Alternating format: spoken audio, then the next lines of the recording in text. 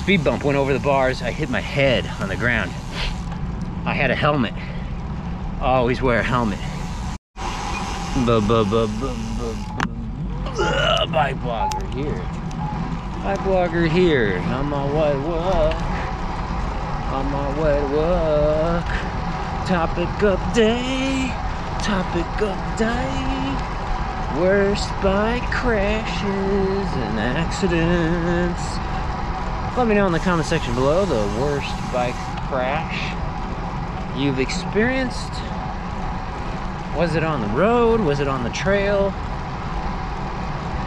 How badly did you get injured? Let me know in the comment section below.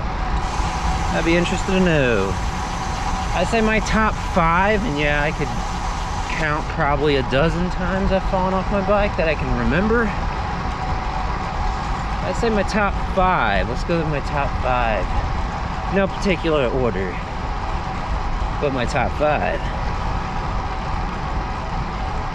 About eh, two, three years ago, I fell off my bike. Uh, I was just riding on the road and I skidded on some gravel and I ended up dislocating my shoulder. That was not fun. It felt really weird. It was kind of a, I guess it wasn't a complete dislocation because I was able to pop it back in. But man, it was a weird feeling and I still feel it today. It's uh, a little achy up the hill. Whew. Yeah, so I can, you know, reach up high and stuff like that, and it doesn't hurt or anything, but it does feel a little achy. Whew. All right, it up the hill. It up the hill. Whew. So that was on my my left arm. It didn't really hurt, like I said, so much. It just felt really weird. But then it was achy after that. Pretty dang achy. Not, again, not really pain. It was just achy. And that lasted for, here, I'll make a left here. That lasted for a while. It doesn't really hurt or anything. It feels a lot better. I don't even notice it now. Uh, but yeah, that wasn't the most comfortable thing. So it was kind of like a wipeout what happened there. I just kind of skidded out and I had my arm outward, which is a big no-no. When you fall off a bike, basically you want to tuck yourself up into a ball or something and roll. I did not do that. I just hit the pavement and uh, had my arm just, you know, flailed out like that. So fortunately, it didn't get any worse than that. But yeah, that was a that was a weird one. That was that was a weird feeling. I fell down and it was kind of like I don't know if you'd call it shock, but I was like, what the heck? I can't I can't move my arm. It was a weird feeling. And so I kind of rolled rolled my shoulder a little bit and boop, it popped back into place. It was like, wow, that's like something out of a,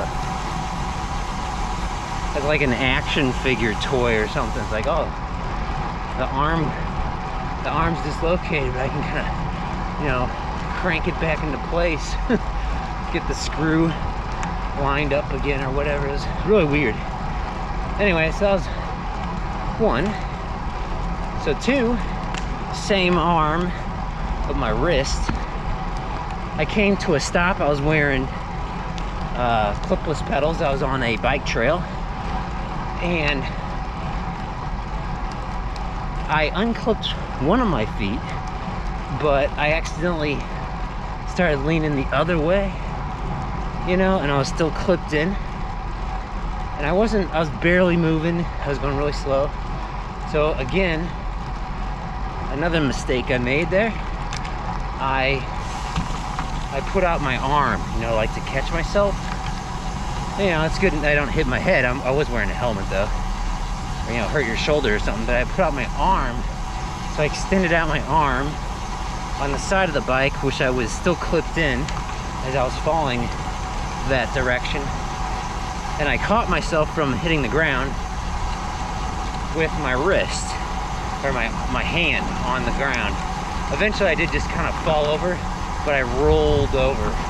So I ended up actually uh, extending my my wrist beyond, you know, how far you're supposed to go with it.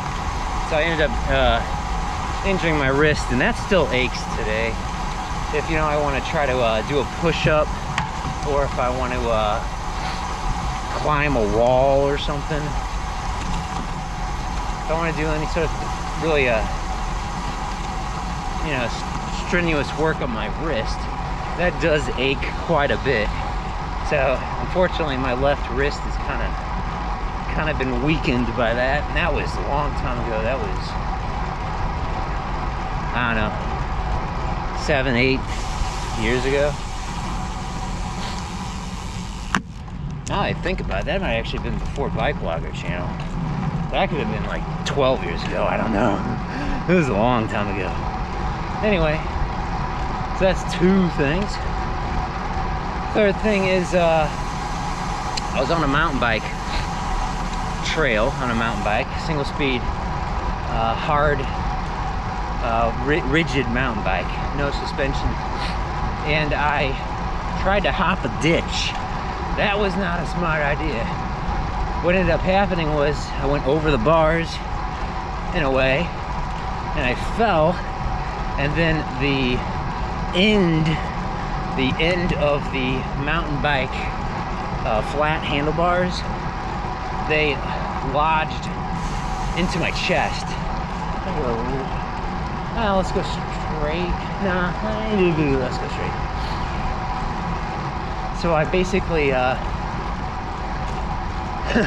if, if it didn't, if the handlebar didn't have a, a cushioned, uh, what do we call it, a, a bar end cushion thing. I don't know what you call those things. A grip, I guess. It wasn't cushioned on the end. We'll make a left here. And I guess if it had been really, you know, sharp or something, could have impaled myself. But anyway, what happened was I basically smashed a end of a handlebar into my chest, and I ended up. Uh, injuring my ribs. I don't know exactly what happened. I didn't get an x-ray. I don't know if I had fractured some ribs, but it hurt. It's like every time you laugh, or you take a really deep breath, it was like, ah, you got some chest pain. That wasn't fun. And I don't know if there's really a fix to that, but I did eventually heal 100%. I'm feeling, you know, I was feeling great after a few months after that. So that was rough just as an aside note, one time I did a, it's not the top five, one time I uh, did a wipeout again, uh, road rash, I got, I think like 12, 13, 14 stitches or something, and that was wearing long sleeve uh, coat, but I slipped on some uh, black ice, so watch out for that black ice. Oh, we're at work now. I had two more. Uh, one time I hit uh, the speed bump went over the bars. I hit my head on the ground. I had a helmet. I always wear a helmet. And another time, you know, wasn't my fault. SUV sped through a red light. And uh, actually, let's go straight here, yeah. Sped through a red light, hit me, and uh, ended up getting uh, uh, chest pains and this sort of thing. Ended up being hospitalized. That was probably the worst. So yeah always watch out for uh, other vehicles because they may very well speed through a red light. So anyway thanks for watching like subscribe let me know in the comment section below your experiences And we'll see you next time on the Bike Blogger Show. Woo.